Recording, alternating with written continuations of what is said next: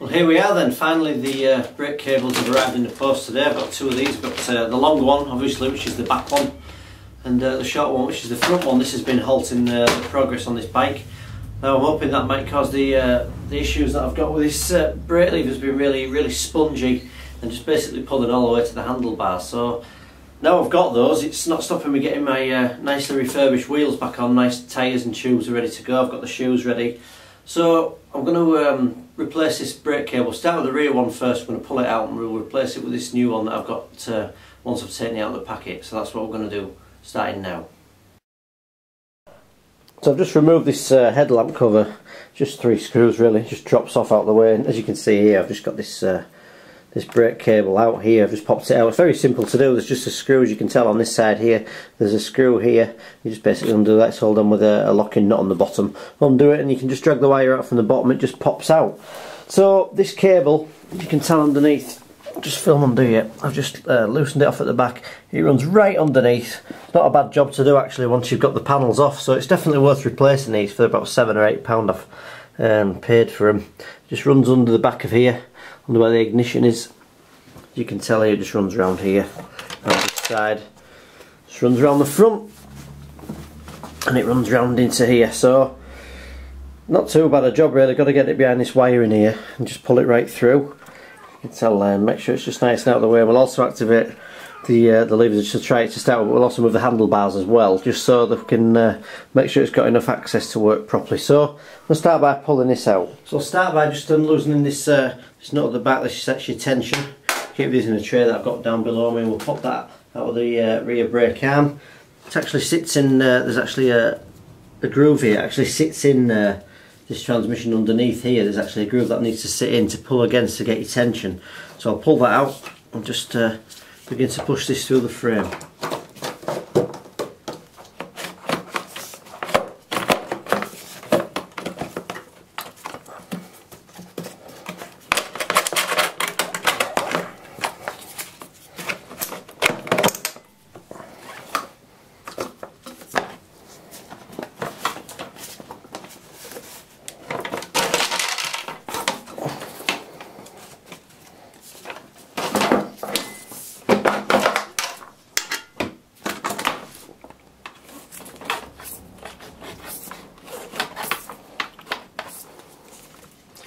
Just be very careful of these wires as well, just to push it through.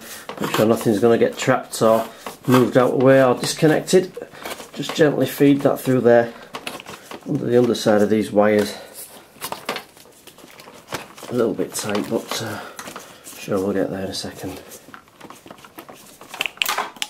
There we go, a little bit of persuasion. We have this uh, this old brake cable removed, very simple as I've said with the panels off. Obviously if you were just taking the, uh, the bike to bits to do that one job it would be a bit time consuming so that's the first one off anyway. As these new cables don't come with this tensioning spring, you need to make sure you don't lose this when you're taking it off. As you can see I've got the, uh, the old cable just lined up next to the new one just to check that all the fittings look uh, similar, which they do, pretty much uh, very very much the same. So I'm happy to make a start threading that back through. So I'll start with this end of the cable here as you can see. I'm just going to thread this back through under this wiring under here. Make sure it goes around the back of it all nice and cleanly. And uh, obviously just under this clip here as you can see there's a big silver bracket here. I want it to go behind there so I don't want anything moving about. I've got that nice firmly behind there. What I'm going to do next is uh, just pop this pull if this bit slides about just pop it to the end and hook it underneath. Push that in place. A little bit fiddly to do but uh,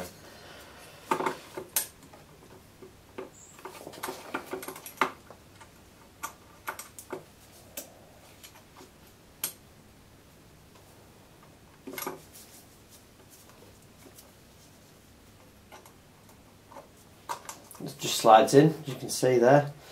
And then uh, just pop this back here. And this little casing just fits in this plastic sleeve there. So that gives us a starting point. We've got this through the back. We need to take this around the, uh, the far side of the bike as you can see from there. We'll come around the other side of the bike and thread this back under the chassis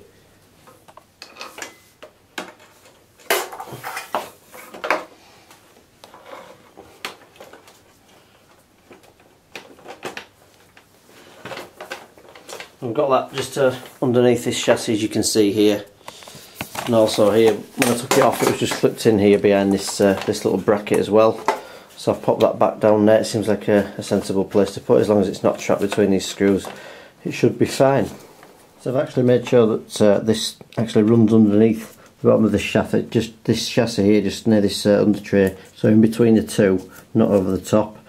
Um, it runs right along here, just missing the stand as well. You don't want it anywhere in between the stand. Otherwise, when you lift your stand up and down, obviously the brake cable, if it's not tied up, clipped up there correctly, you're going to have a problem. So the last thing to do there is just push this uh, this cable into back of this groove here. It just fits in there snugly. There's actually a little cover that, that will fit in there once I've got this on. And then uh, the next thing to do is just uh, put the back of this cable just through this brake lever arm at the back. Of course, just before you put this uh, back through this brake lever arm here, you just need to put this uh, spring back on here, just so you can get your tension when you're taking the cable up. We'll pop this, uh, put this back through this brake arm here. Now I've got this through the end, I just need to put this uh, locking nut, this adjuster nut back on the back of this cable.